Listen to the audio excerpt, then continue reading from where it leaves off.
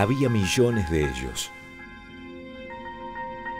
Evolucionaron en ambientes poco favorables a la vida, desarrollando adaptaciones sorprendentes.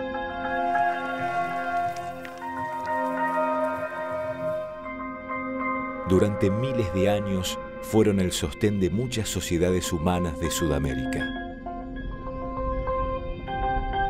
Fueron también objeto del desprecio y la persecución, pero hoy podrían transformarse en una valiosa opción para enfrentar la crisis ecológica.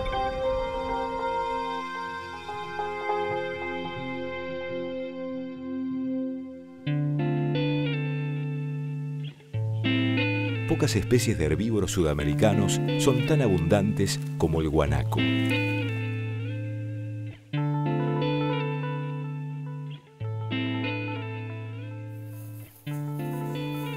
Ellos viven en grupos familiares. Las hembras y sus crías son acompañadas por un macho. Ellos están encargados de mantener la vigilancia del grupo y alertan a la manada mediante relinchos. Ante la voz de alarma, todos escapan a la carrera. Su plasticidad ecológica les permite vivir desde los 4.000 metros en el altiplano andino hasta el nivel del mar en la isla de Tierra del Fuego. Su presencia extendida a lo largo de una enorme área geográfica no pasó inadvertida para los pobladores nativos.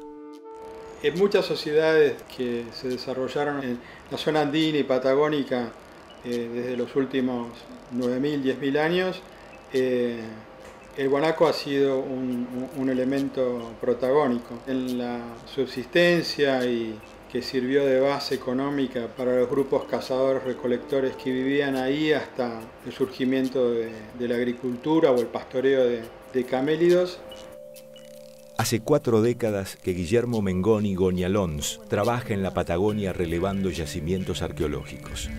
A través de su trabajo pudo conocer íntimamente el valor que los guanacos tenían para los habitantes nativos. Los guanacos eran aprovechados en su totalidad. Se utilizaba su carne, sus huesos y su pelo. Con los cueros se construían las viviendas, conocidas como toldos.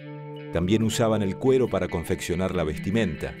Las prendas de guanaco tenían un significado especial para los tehuelches la vestimenta en los tehuelches, por ejemplo, y el guanaco como tal tiene algo que es muy, muy identitario. Por ejemplo, se conecta el cuero del guanaco con el ciclo de vida de, las personas. Cuando decía un chiquito se le envolvía en cuero de guanaco, a esa persona se le hacía una capa, esa capa muchas veces estaba ornamentada con motivos pintados que eran marcaban de alguna forma su pertenencia al grupo, quién era, era por algo propio, porque tu capa no se la prestabas a otro, y cuando la persona moría se lo envolvía también en un cuero de guanaco. Así que de alguna forma el guanaco y su cuero acompañaba a las personas a lo largo de toda su vida. La importancia del guanaco se remonta a un pasado lejano. Los primeros hallazgos tienen más de 9.000 años y los últimos son casi contemporáneos.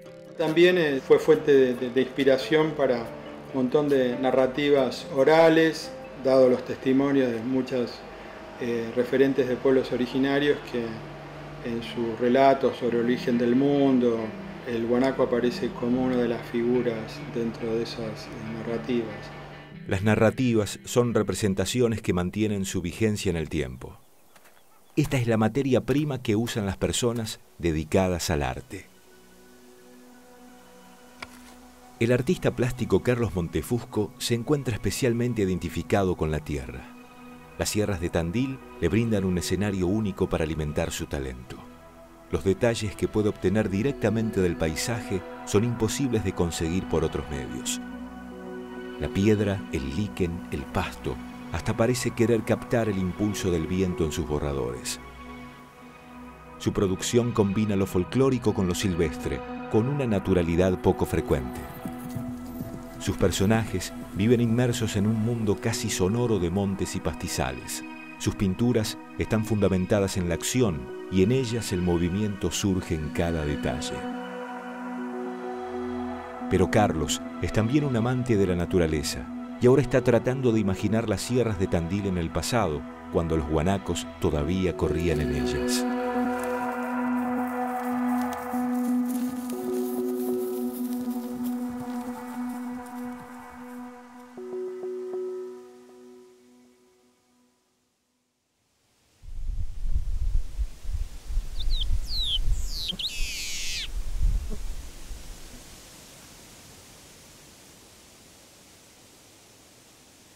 Las hembras tienen a sus crías luego de 11 meses de gestación.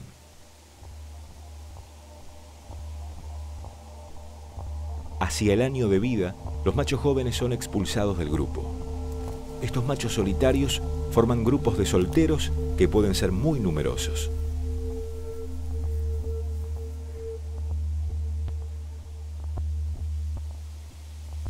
Cuando un macho joven quiere tomar un grupo de hembras, debe enfrentarse al macho de la manada y desplazarlo de su puesto.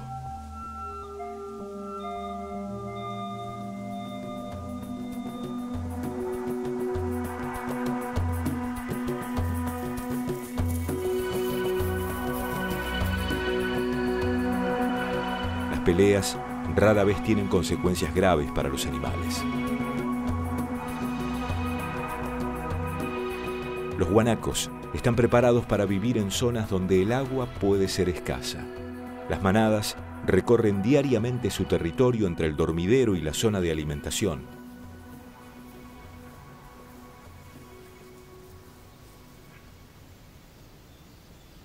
Ellos comen pastos y arbustos.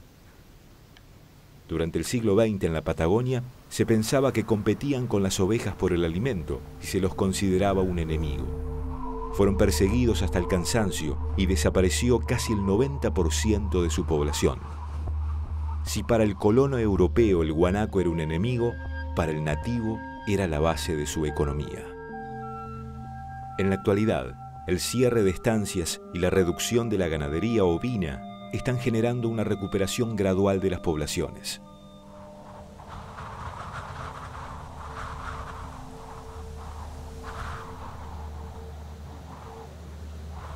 La importancia de los guanacos para las sociedades prehistóricas queda revelada de manera inequívoca en la cueva de las manos. Aquí puede observarse una escena de caza magistralmente representada. Los guanacos son arrinconados en una barranca y los hombres los cazan con boleadoras. Los animales saltan, corren, escapan. Puede sentirse el movimiento en estas pinturas de más de 9.000 años. Los artistas realmente conocían a estos animales. Al final, los hombres se juntan alrededor de un guanaco abatido.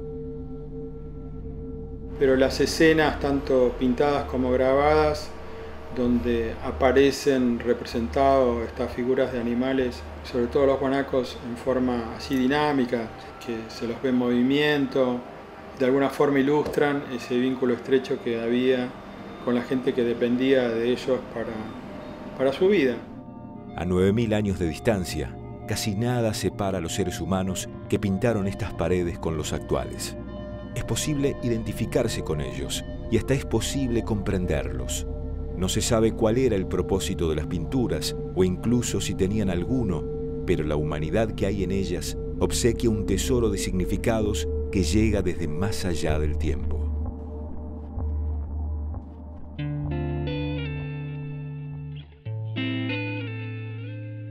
Las imágenes en la piedra preludian el hecho artístico que vincula a Carlos Montefusco con sus colegas prehistóricos. Carlos está a punto de comenzar una nueva obra. La tela es un desierto blanco a la espera de pastos y arbustos que irán germinando a medida que el pincel deje sus memorias.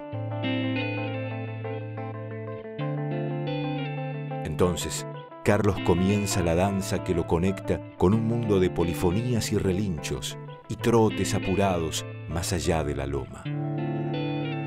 De la mano de Carlos, el guanaco emprende su regreso a las sierras de Tandil, de las cuales no debió haberse ido nunca.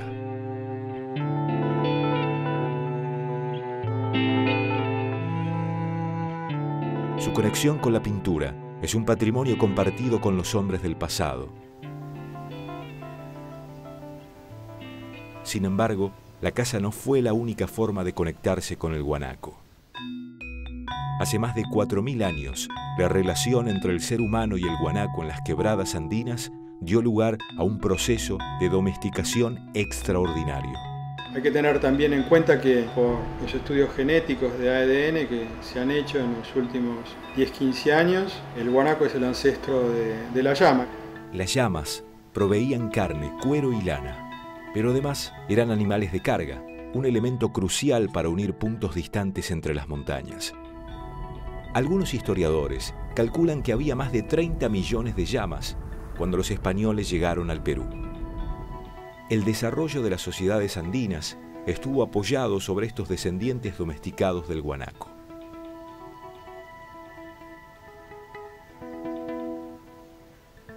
En la actualidad, la especie atesora un gran potencial para contribuir con la sociedad. Los guanacos tienen almohadillas en sus dedos que reducen el impacto de la pisada y no rompen el suelo. Además, al comer, ellos no arrancan las plantas, sino que las cortan. Esto permite que las plantas sigan arraigadas fijando el suelo. Por estas características, los guanacos se encuentran bien adaptados para vivir en regiones extremas, como la estepa patagónica, y podrían ser muy importantes para restaurar sus áreas degradadas. Los guanacos brindan carne y fibra de una enorme calidad y quizás se conviertan en el ganado del futuro para la Patagonia y otras zonas erosionadas de la Argentina.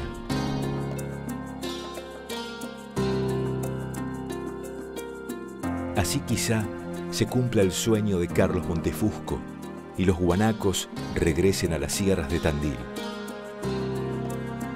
Mientras tanto, su arte los va devolviendo y trazo a trazo va preñando los pastizales de las sierras con los trotes juguetones de una guanacada libre y arisca. El sueño del artista acuna un futuro de retornos, el retorno del guanaco, el retorno de la naturaleza perdida, el retorno a una forma de vivir cargada de humanidad y significado.